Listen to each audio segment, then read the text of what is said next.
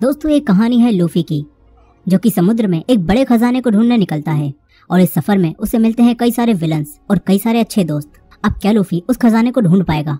और कैसा होगा उसका ये समुद्री एडवेंचर चलिए देखते हैं इस पूरी कहानी में। तो कहानी के शुरुआत में हमें पायरेट्स यानी कि समुद्री लुटेरों की एक दुनिया को दिखाया जाता है, जहाँ का सबसे बड़ा पायरेट गोल्ड रोजर होता है। लेकिन गोल्ड रोजर को आज पकड़ लिया गया है, और मरीन फोर्स यानी कि समुद्री सैनिकों के वाइस एडमिरल गार्प उसे सभी लोगों के सामने मारने लाते हैं, ताकि अब कोई भी पायरेट बनने के बारे में ना सोचे और इस दुनिया से सभी पायरेट्स खत्म हो जाएँ। मगर ऐसा नहीं होता, क्योंकि गोल्ड रोजर अब तक का सबसे बड़ा पायरेट था और उसने अपनी पूरी ज़िंदगी में काफ़ी सारा खजाना इकट्ठा करके कहीं छुपा दिया था। गोल्ड रोजर सबको बताता है कि उसने समुद्र में काफ़ी सारा खजाना छुपा रखा है। गोल्ड रोजर सबसे कहता है कि समुद्र में जाओ और मेरा खजाना ढूंढ कर दिखाओ, और ये सुनकर लोगों में खजाने को ढूँढने का एक जज्बा पैदा हो जाता है। तभी गार्प ये देखकर तुरंत गोल्ड रोजर को मरवा देता है। मगर अब कई सारे लोग गोल्ड रोजर का खजाना ढूँढने के लिए समुद्र में जाकर पायरेट्स बनने लगते हैं।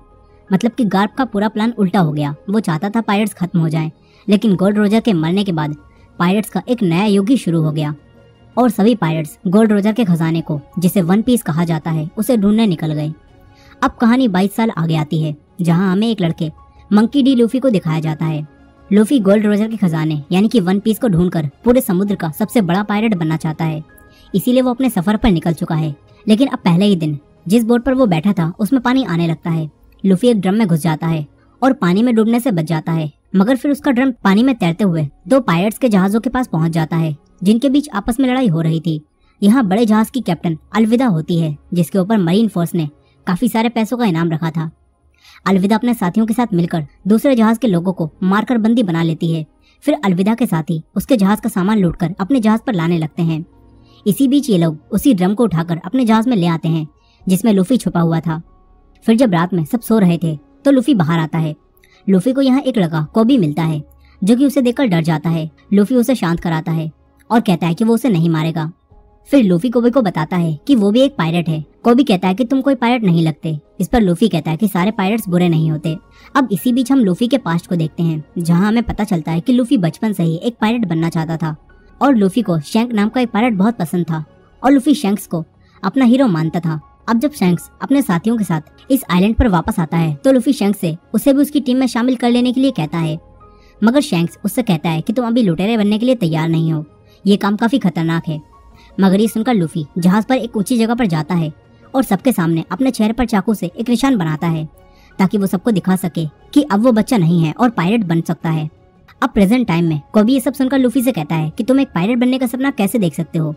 इस पर लूफी कहता है कि पायलट्स बनकर हम समुद्र में अपने साथियों के साथ एडवेंचर कर सकते हैं और हम पायलट्स बिल्कुल आज़ाद होते हैं। कोबी भी आज़ाद होना चाहता था, लेकिन वो कहता है कि इस जहाज़ की कप्तान अलविदा उसे आज़ाद नहीं होने देगी। अब तभी अलविदा के खटाटों की आवाज़ सुनकर लूफी कहता है कि क्या तुम लोगों ने किसी समुद्री मॉन्स्टर को पकड़ रखा है? इस पर कॉबी कहता है कि ये अलविदा के खर्राटों की आवाज़ है। कॉबी लूफी को ऊपर ले जाता है और कहता है कि अभी सब सो रहे हैं, इसीलिए तुम यहाँ से निकल जाओ। लूफी यहाँ से जा रहा था, लेकिन तभी उनकी आवाज़ सुनकर सभी लोग जाग जाते हैं और अलविदा भी यहाँ आ जाती है। अलविदा को लगता है कि कॉबी उसे धोखा दे रहा था, इसीलिए अलविदा अपने हथियार से इन दोनों पर हमला कर देती है, मगर लूफी उसे बचा लेता है। लूफी अकेले ही अलविदा और उसके सभी साथियों से लड़ता है और उसे गोलियों से भी कुछ नहीं होता। अलविदा अपना भारी भरकम हथियार उसके मारती है। लेकिन लूफी अपने शरीर को लचीला बनाकर अलविदा से बच जाता है। ये देखकर अलविदा भी हैरान हो जाती है। लूफी अपने पूरे शरीर को लचीला करके अपनी पावर से जहाज़ के दूसरी तरफ़ जाता है। तभी अलविदा आकर उस पर हमला करती है। लेकिन लूफी बच जाता है और उसके जहाज़ पर ही आग लग जाती है। अलविदा को काफ़ी गुस्सा आता है। वो कोबी को मारने वाली थी। तभी लूफी बीच में आकर उसे बचा लेता है। इसके बाद लूफी अपने स्पेशल मूव गम गम पिस्तो करते हुए अलविदा को उड़ा देता है और अलविदा सबको अलविदा कहकर चली जाती है। यहाँ आप सभी लोग लूफी से डरकर हार मान लेते हैं और लूफी कॉबी के साथ यहाँ से जाने लगता है। इसके बाद हम एक तलवारबाज, रोरोनोआ जोरो को देखते हैं, जो कि सभी समुद्री पायलट्स का शिकार करता है। यहाँ एक आदमी, मिस्टर सेवन, जोरो को अपनी टीम में शामिल होने का ऑफ़र देता है, मगर जोरो उसे मना कर देता है। इसके बाद जोरो मिस्टर सेवन से फाइट करता है। जोरो काफ़ी अच्छा तलवारबाज था और वो अपनी दोनों तलवारों की मदद से मिस्टर सेवन के दो टुकड़े कर देता है। और फाइट में जीत जाता है। वही लूफी और कोबी उस जहाज़ से निकल चुके थे। कोबी लूफी से पूछता है कि तुम्हें लचीले होने की पावर्स कैसे मिली? इस पर लूफी बताता है कि जब वो छोटा था और शेंक्स ने उसे अपनी टीम में शामिल करने से मना कर दिया था तो गुस्से में उसने शेंक्स के खजाने में से एक डेविल फ्रूट खा लिया, जिसके बाद उसे ये लचीले होने की पावर्स मिल गई। अब प्रेजेंट डे में कोबी पूछता है कि हमें कहाँ जाना है। इस पर लूफी कहता है कि हम ग्रैंड लाइन पर जा रहे हैं, जहाँ वन पीस छुपा हुआ है। कोबी पूछता है कि क्या तुम्हें ग्रैंड लाइन का रास्ता पता है? लेकिन लूफी को ग्रैंड लाइन का रास्ता नहीं पता होता। अब यही कोबी बताता है कि उसका भी एक सपना है। वो मरीन बनना चाहता है और कमज़ोर लोगों की मदद करना चाहता है। ये सुनकर लूफी कहता है तो फिर ठीक है, हम पास के मरीन बेस पर चलते हैं। वहाँ से मुझे ग्रैंड लाइन का मैप मिलेगा और तुम वहाँ मरीन बनने के लिए रुक जाना। जिसके बाद ये दोनों मरीन बेस पर जाने लगते हैं। इसी दौरान हम एक लड़की नामी को देखते हैं, जो कि एक छोटी सी बोट पर मर रही थी। तभी उसे एक बड़ी बोट दिखती है, जिसमें दो आदमी थे। नामी उनसे मदद मांगती है। लेकिन नामी देखती है कि ये दोनों तो लुटेरे हैं। इसीलिए नामी अपने पास रखे एक बॉक्स को बचाने लगती है। ऐसा लगता है कि उसमें कोई खास खजाना है। और ये देखकर वो दोनों लुटेरे। अपनी बोट से उतरकर नामी की बोट में आकर उस बॉक्स को खोलने लगते हैं। लेकिन जब वो दोनों वो बॉक्स खोलते हैं तो उसमें कुछ भी नहीं होता। और यही नामी इनकी बोट चुरा कर ले जाती है। इसके बाद नामी भी पासी के मरीन बेस पर आ जाती है। यहीं कोबी और लुफी एक बार में खाना खा रहे थे और यहीं जोरो भी आ चुका था। यहाँ एक छोटी लड़की जोरो के लिए राइस बोल बनाकर लाती है। लेकिन यहाँ के मरीन कैप्टन मॉर्गन का बेटा हेलमेट को आकर उन्हें गिरा देता है और फिर उस लड़की से बदतमीजी से बात करता है। ये देखकर जोरो उसे माफ़ी मांगने के लिए कहता है, लेकिन वो अपनी तलवार निकाल लेता है। तभी जोरो उससे फाइट करता है।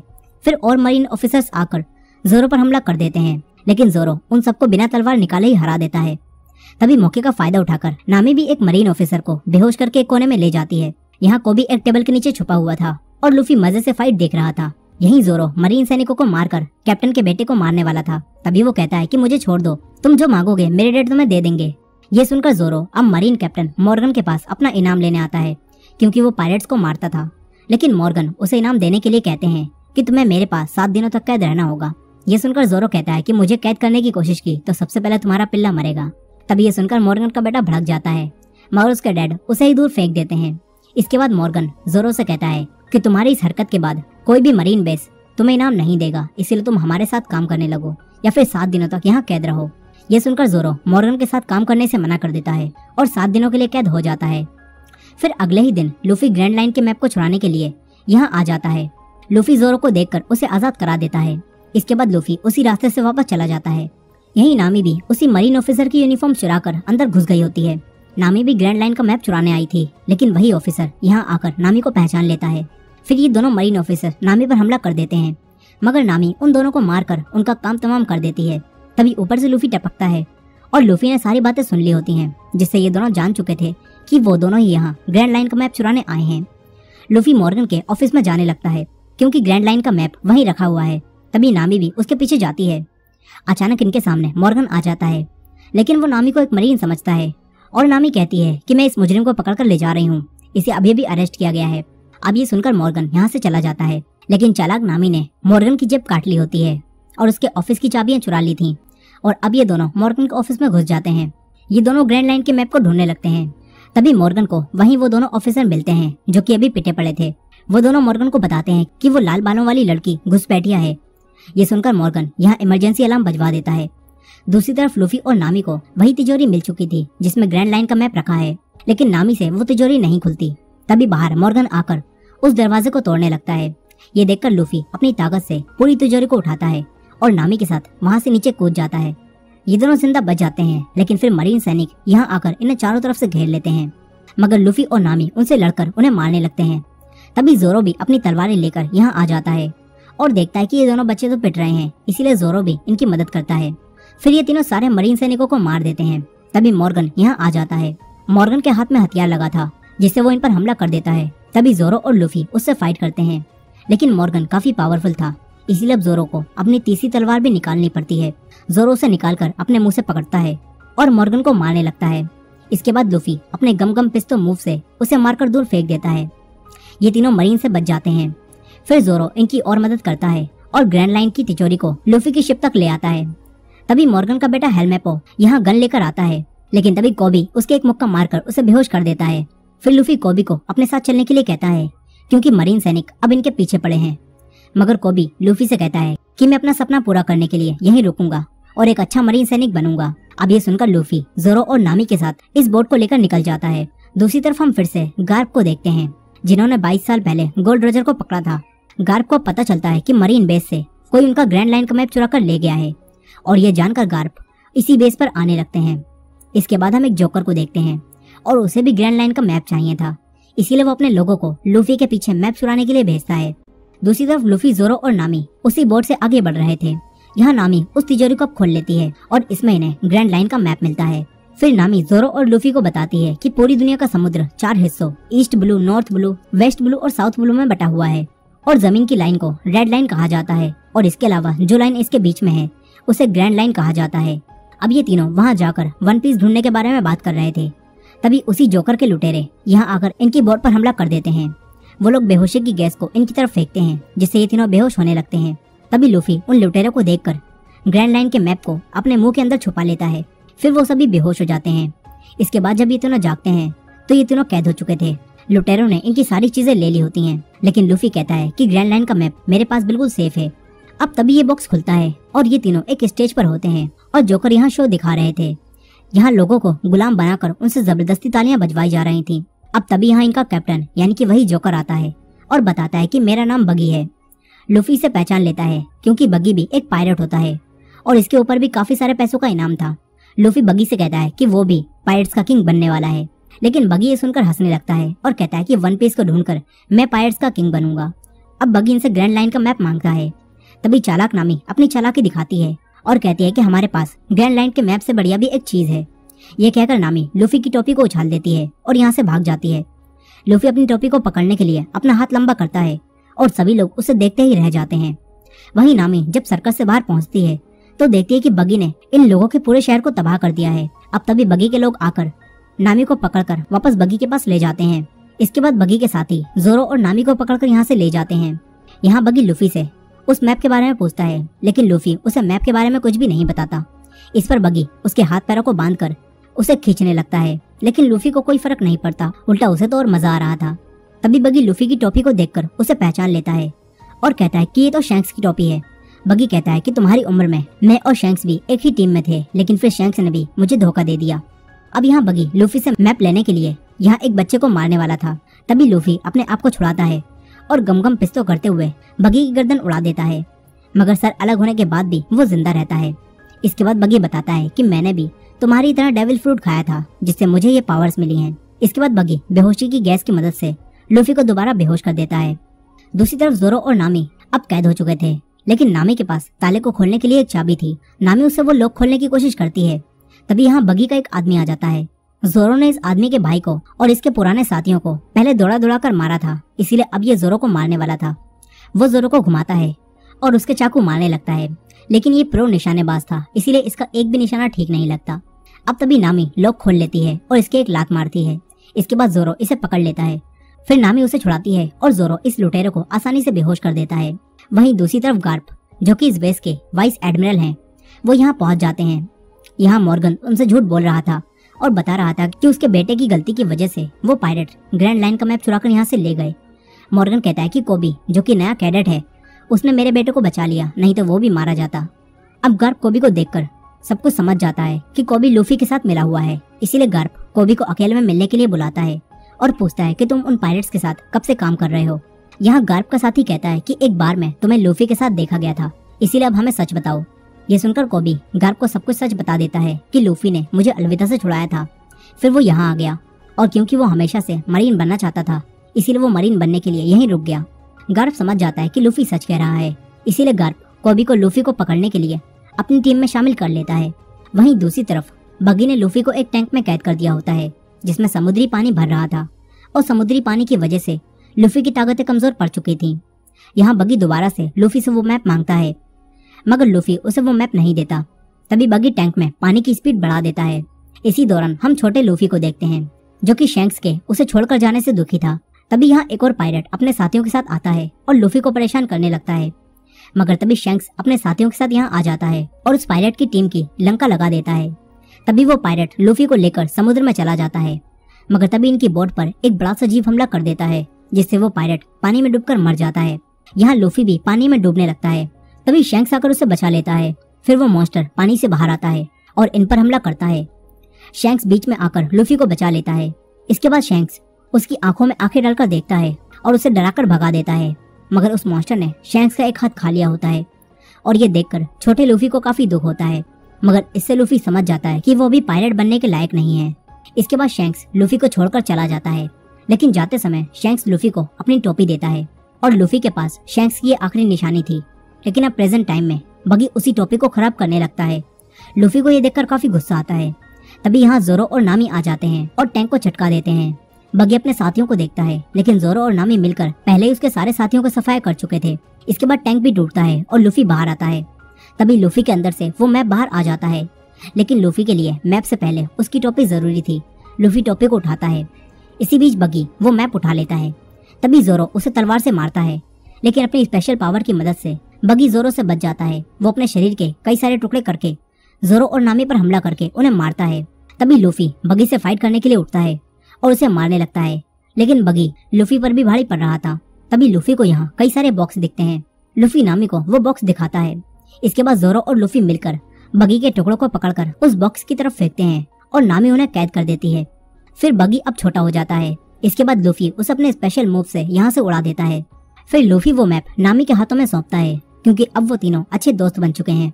इसके बाद लूफी, जोरो और नामी यहाँ कैद लोगों को आज़ाद कराते हैं। दूसरी तरफ़ गार्प ने वहाँ के कैप्टन मॉर्गन को कैद कर लिया होता है, क्योंकि कैप्टन मॉर्गन एकदम भ्रष्ट कैप्टन था। इसके बाद गार्प कुछ नए मरीन सैनिकों को लेकर खुद लूफी को पकड़ने का फैसला करता है। उसके नए मरीन सैनिकों में मॉर्गन का बेटा हेलमेपो और कोबी भी शामिल होते हैं और ये लोग लूफी को पकड़ने के लिए समुद्र में निकल जाते हैं। वहीं लूफी उन लोगों को आज़ाद कराने के बाद जोरो और नामी के साथ अपने सफ़र पर निकल चुका था। तभी हम नामी को देखते हैं, जो कि किसी से फ़ोन पर बात करती है और कहती है कि मेरे पास ग्रैंड लाइन का मैप है और मैं आ रही हूँ। यानी कि नामी इन्हें धोखा दे रही है। अब इसके बाद हम सात साल पहले के साइरप विलेज को देखते हैं, जहाँ एक बच्चा उसोप हमेशा शोर मचाकर सबको डराता है और कहता है कि लुटेरे आ रहे हैं। शुरू में सभी लोग उसकी बातों को सच समझकर उससे डरते थे, लेकिन कुछ सालों बाद ही लोग समझ गए कि उसोप झूठ बोलता है, इसीलिए अब कोई भी उसकी बात पर विश्वास नहीं करता। कहानी प्रेजेंट डे में आती है, जहाँ उसोप अब बड़ा हो चुका है। लेकिन अब भी वो सबसे कहता है कि लुटेरे आ रहे हैं। लेकिन अब भी कोई उसकी बातों पर विश्वास नहीं करता। अब यही लूफी और उसके दोस्त आगे बढ़ रहे थे, लेकिन उनका जहाज़ खराब हो जाता है। इसीलिए ये लोग नया जहाज़ खरीदने के लिए उसोप के आइलैंड पर आ जाते हैं और अपने जहाज़ को पानी में डुबो देते हैं, ताकि कोई भी इन्हें ना ढूंढ पाए। दूसरी तरफ़ गार्फ लूफी को ढूँढने के लिए आगे बढ़ रहा था। तभी गार्फ देखता है कि कोबी इस जहाज़ पर बाकियों से अच्छा काम करना जानता है। इसीलिए गार्फ कोबी को अपने साथ ले जाता है और हेलमपो से काम करने के लिए कहता है वहीं दूसरी तरफ़ उसी जोकर बगी ने अपने सारे पार्ट्स फिर से निकाल लिए होते हैं।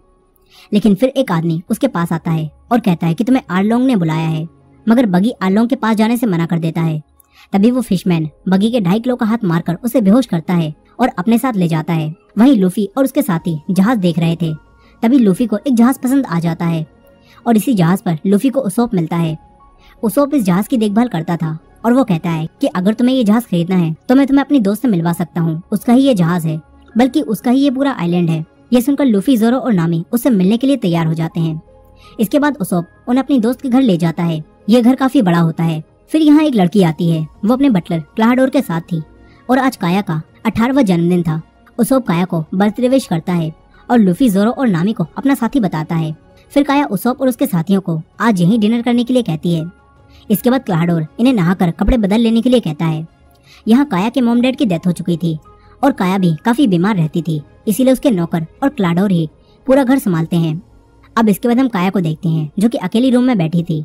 तभी खुफिया रास्ते से उसोप उसके पास आता है और उसे गिफ्ट के तौर पर समुद्री मोती देता है। उसोप काया को खुश करने के लिए उसे झूठी झूठी कहानियाँ सुनाता है कि वो बड़े बड़े एडवेंचर कर चुका है। तभी काया को खांसी आती है। उसोप उसे उसकी चाय पिलाता है, जिससे काया को थोड़ा अच्छा महसूस होता है। यही लूफी और नामी इतने सारे कपड़े देखकर कंफ्यूज हो रहे थे कि वो कौन से कपड़े पहने। अब तभी यहाँ जोरो आता है और लूफी और नामी से पूछता है कि क्या काया के साथ जो आदमी था, क्या वो तुम्हें जाना पहचाना लग रहा था? लेकिन नामी और लूफी मना करते हैं। वहीं वो आदमी क्लाडोर अपनी चिकनी चोपड़ी बातों से काया का दिल जीत लेता है। काया उसे अपना अच्छा दोस्त मानती है, मगर हकीकत में क्लाडोर दोनों नौकरों के साथ मिलकर काया को मारने का प्लान बना रहा था, ताकि इस आइलैंड पर वो राज कर सके। और इसी वजह से क्लाडोर रोज काया को थोड़ा थोड़ा जहर दे रहा था। जिस वजह से काया लगातार बीमार रहती है। यहाँ काया के शेफ ने कई सारा जहरीला सूप बनाया होता है, ताकि वो लोग काया को मार सकें। वहीं दूसरी तरफ़ गार्प कोबी को अपने साथ गेम खेलने के लिए कहता है। वो दोनों गेम खेलने लगते हैं और गार्प उसे गेम खेलते हुए समझाता है कि अगर तुम हार के बारे में सोचते रहोगे तो तुम हारते ही रहोगे। इसीलिए तुम्हें जीत के बारे में सोचना होगा। इसके बाद जब कोबी जीत के बारे में सोचता है तो वो गार्प को भी गेम में हरा देता है। वहीं दूसरी तरफ़ लुफी, जोरो और नामी पार्टी का मज़ा ले रहे थे। यही नामी एक आदमी मेरी से बात करती है। जो कि काया का सारा बिज़नेस संभालता है। अब इसके बाद यहाँ काया क्लाडोर के साथ आती है। फिर काया मेरी से मिलती है। जोरो क्लाडोर से बात करता है और पूछता है कि क्या हम पहले मिल चुके हैं? तुम मुझे जाने पहचाने लगते हो। लेकिन क्लाडोर मना कर देता है। यही मेरी काया से कुछ बात करना चाहता था। लेकिन क्लाडोर उसे रोक देता है और सबको खाना खाने के लिए कहता है। फिर जब ये सब लोग खाना खा रहे होते हैं तो इसी बीच लूफी काया से उसी जहाज़ के बारे में बात करता है। काया कहती है कि मेरे मॉम डैड के जाने के बाद जहाजों का बिज़नेस मेरी संभालते हैं, लेकिन आज रात के बाद सब बदल जाएगा, क्योंकि आज मैं अठारह साल की हो जाऊँगी और सारा बिज़नेस मेरे पास आ जाएगा। यह सुनकर लूफी काया को बताता है कि हम पायलट्स हैं और हम लोग ग्रैंड लाइन की तरफ़ जा रहे हैं, इसीलिए हमें तुम्हारा वो जहाज़ चाहिए। अब तभी ही काया की तबीयत खराब होने लगती है। ये देखकर क्लाडोर इन सबको यहाँ से जाने के लिए कहता है, मगर काया कहती है कि आज रात इन्हें यहीं रुकने दो। ये सुनकर क्लाडोर भी चुप हो जाता है और काया को उनके रूम की तरफ़ ले जाने लगता है। दूसरी तरफ़ हेलमेपो गार्प को आकर बताता है कि हमें एक आइलैंड के पास लूफी के जहाज़ का सामान मिला है। ये सुनकर गार्प कोबी को उस आइलैंड पर जाकर लूफी को पकड़ कर लाने के लिए कहता है। यही काया के घर में क्लाडोर मैरी को जान से मारने जाता है क्योंकि मैरी काया को सब सच बताने वाला था। यहाँ हम देखते हैं कि, कि क्लाडोर के पास भी स्पीड और ब्लेड की पावर्स हैं जिनसे क्लाडोर मैरी को जान से मार देता है। इसके बाद हम फिर से बगी को देखते हैं जिसे वही फिशमैन पकड़कर आरलोंग के पास ले आया था। और आरलोंग बकी से कहता है कि मैं पूरे ईस्ट ब्लू का सबसे बड़ा पायलट हूँ। इसीलिए अगर तुम यहाँ कुछ भी लूटमार करोगे तो मुझे मेरा हिस्सा देना होगा। ये सुनकर बगी कहता है कि वो कुछ भी नहीं कर पा रहा, बल्कि लूफी नाम का एक लड़का पूरे ईस्ट ब्लू में घूम रहा है, और उसने ग्रैंड लाइन का मैप भी चुरा लिया है। ये सब जानकर आरलोंग कहता है कि लूफी कहाँ है? बगी कहता है कि मुझे छोड़ दो, मैं उसे ढूँढने में तुम्हारी मदद करूँगा। आरलोंग मान जाता है। वहीं रात में लूफी और खाना खाने के लिए अपने रूम से बाहर निकलता है। तभी उसे जोरो मिलता है, जो कि पीने के लिए कुछ ड्रिंक ढूंढ रहा था। फिर वो दोनों एक साथ किचन में जाते हैं। जहाँ इन्हें उसोप मिलता है। वो पहले से ही यहाँ बैठा था। जोरो और लूफी उसोप से बात करने लगते हैं। दूसरी तरफ़ नामी भी अपने रूम से बाहर आकर यहाँ की चीज़ों को चुराने लगती है। तभी वो काया के रूम में पहुँच जाती है और काया उसके हाथ में सामान देखकर सब समझ जाती है। लेकिन काया नामी से कुछ भी नहीं कहती और उससे दोस्तों की तरह बातें करने लगती है। वहीं उसोप बातों ही बातों में लूफी को बताता है कि मेरे डैड भी एक बड़े पायलट हैं। लेकिन जब मैं छोटा था तो वो हमें छोड़कर चले गए। वो कहता है कि मेरे डैड का नाम यासोप है। लूफी उनका नाम सुनकर उन्हें पहचान लेता है। और बताता है कि मैं उनसे मिल चुका हूँ। वो शेंक्स की टीम में है। उसोप उनके बारे में सुनकर काफ़ी खुश हो जाता है। तभी जोरो उसोप से पूछता है कि यहाँ ड्रिंक है क्या? उसोप बताता है कि नीचे बेसमेंट में काफ़ी सारी ड्रिंक पड़ी है। फिर ये दोनों ड्रिंक पीने के लिए बेसमेंट में चले जाते हैं। तभी इन्हें मैरी मिलता है, जो कि मर चुका था।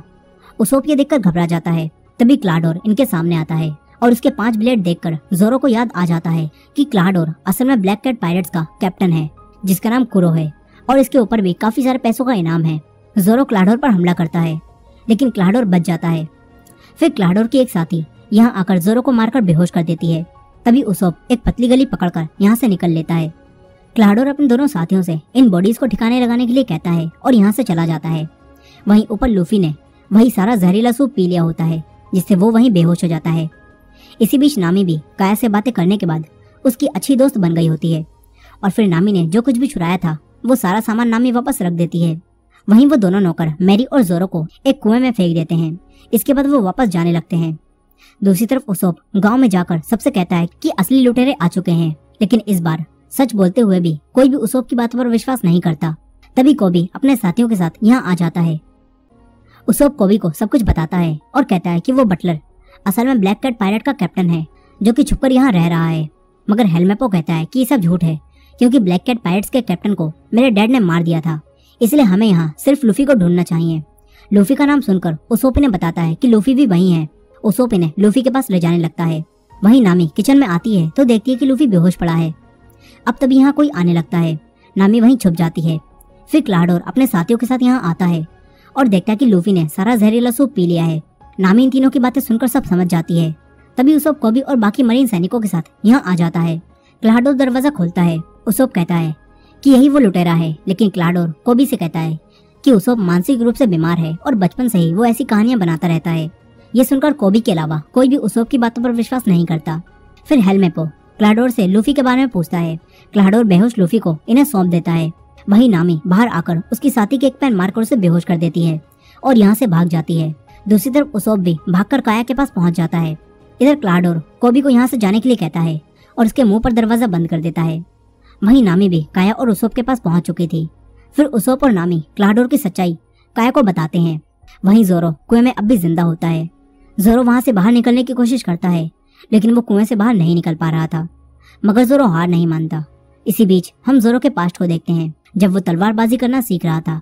यहाँ एक लड़की कोइना जोरो की काफ़ी अच्छी दोस्त थी। जोरो हमेशा उससे हार जाता था। मगर फिर उन दोनों ने साथ मिलकर कड़ी ट्रेनिंग करी। और एक दूसरे से वादा किया कि हम में से एक इस दुनिया का सबसे बड़ा तलवारबाज बनेगा। लेकिन फिर कुछ समय बाद ही कोइना की एक एक्सीडेंट की वजह से डेथ हो गई और ये सब जानकर जोरो को काफ़ी दुख हुआ। इसके बाद जोरो कोइना से किए हुए वादे को निभाने के लिए दुनिया का सबसे अच्छा तलवारबाज बनने निकल पड़ा। अब प्रेजेंट डे में यहाँ बारह बज जाते हैं और काया ऑफिशियली अब बड़ी हो चुकी है। इसीलिए अब क्लाडोर काया की प्रॉपर्टी पर कब्जा करने के लिए उसे मारने जाता है। वो इस घर से बाहर निकलने के सभी रास्तों को बंद करवा देता है। इसके बाद उसके दोनों साथी और वो खुद अपने हथियारों के साथ काया को मारने जाने लगता है। लेकिन काया उसोप और नामी के साथ यहाँ के खुफिया रास्तों से दूसरी तरफ़ जाने लगती है। ये लोग दीवारों के अंदर से जा रहे थे, तभी काया खांसती है और उसकी आवाज़ें सुनकर क्लाडोर अपने ब्लेड से उस पर हमला करता है। वो तीनों यहाँ से भागते हैं। दूसरी तरफ़ जोरो कुएँ से निकलने की कोशिश कर रहा था, लेकिन जोरो दोबारा से नीचे गिर जाता है, मगर जोरो हार नहीं मानता। वो दोबारा उठकर ऊपर चलने लगता है और आखिरकार जोरो कुएँ से बाहर आ जाता है। वहीं कोबी लूफी को पकड़ कर ले जा रहा था। लेकिन कोबी को उसोप की बातों पर थोड़ा थोड़ा विश्वास होने लगा था। अब तभी लूफी को यहाँ होश आता है। तभी हेलमेपो उसके पास जाता है। लेकिन फिर लूफी सारा का सारा सोप उसके ऊपर ही निकाल देता है। इसके बाद लूफी पूरी तरह से होश में आ जाता है और लूफी कोबी से कहता है कि मुझे यहाँ से जाना होगा, ताकि मैं अपने दोस्तों को बचा सकूँ। लेकिन हेलमेपो उसे पकड़ने के लिए उसे मारने वाला था। तभी जोरो यहाँ आ जाता है और उसके साथियों को मार देता है। वो हेलमेपो को भी बेहोश कर देता है। इसके बाद जोरो और लूफी अपने दोस्तों को बचाने जाने लगते हैं। वहीं घर में काया नामी और उसोप एक पुराने रूम में आकर छुपते हैं। तभी क्लाडोर भी यहाँ आ जाता है और उन्हें ढूँढने लगता है। इसी दौरान जोरो और लूफी भी घर के अंदर आ जाते हैं। लूफी ऊपर जाता है और जोरो दूसरी तरफ़ जाता है। जोरो के सामने क्लाडोर के दोनों चमचे आते हैं। जोरो उनसे फाइट करता है। वहीं क्लाडोर काया और नामी को पकड़ लेता है। वो दोनों को मारने वाला था। तभी उसोफ अपने हथियार से उसके एक निशाना लगाता है, मगर क्लाडोर बच जाता है। फिर क्लाडोर उसोफ पर हमला करके उसे दूर फेंक देता है। इसके बाद वो काया को मारने आता है। तभी लूफी आकर उसे रोक देता है। फिर लूफी क्लाडोर से फाइट करता है। काया और नामी उसोफ के पास आ जाती हैं। यही क्लाडोर काफ़ी तेज था, इसीलिए लूफी उस पर हमला नहीं कर पा रहा था। क्लाडोर लूफी को बातों में उलझाकर उस पर कई बार हमला करता है, इसीलिए अब लूफी शांत हो जाता है और क्लाडोर के एक मुक्का मार के उसे गिरा देता है। दूसरी तरफ़ जोरो भी क्लाडोर के दोनों साथियों से फाइट करके उन्हें धूल चटा रहा था और यहाँ अब क्लाडोर लूफी से फेस टू फेस फाइट करता है। और अपने ब्लेड से उस पर हमला करता है। लेकिन लूफी आराम से उनसे बच जाता है। फिर लूफी एक और स्पेशल मूव से क्लाडोर को यहाँ से दूर फेंक देता है। नीचे जोरो भी उसके दोनों साथियों को हरा देता है। इसके बाद ये सब लोग बच जाते हैं। मगर नामी इनसे कहती है कि हमें तुरंत ही यहाँ से निकलना होगा, क्योंकि मरीन सैनिक जान चुके हैं कि हम यहाँ पर हैं। मगर लूफी कहता है कि हमारे पास तो कोई जहाज़ भी नहीं है। ये सुनकर काया इन्हें वही जहाज़ दे देती है। इसके बाद उसोब भी इनके साथ इनके सफ़र पर जाने का फैसला करता है। और ये चारों इस आइलैंड से निकल जाते हैं। दूसरी तरफ़ प्लाडोर अब भी ज़िंदा होता है और वो भी इस आइलैंड से बचकर भाग गया होता है। वहीं कोबी जहाज़ पर गार्प से माफ़ी माँगता है और कहता है कि वो लूफी को पकड़कर नहीं ला पाया। लेकिन गार्प उससे कहता है कि चिंता मत करो, तुमने अपना काम कर दिया।